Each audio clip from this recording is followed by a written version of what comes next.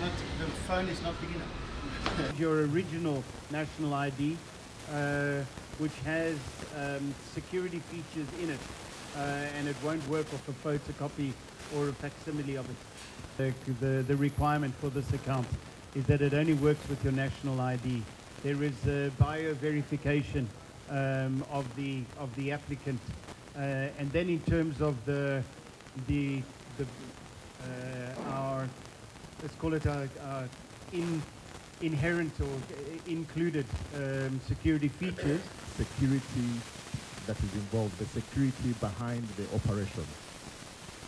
It's a very, very safe and secure process that goes through all the non-regulatory requirements in terms of identifying who the person is that is opening up an account.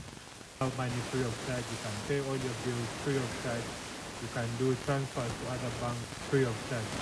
And um, on top of that, you can also get your debit card and be able to transact at our agents, at our ATM, in any location that the card is uh, accepted.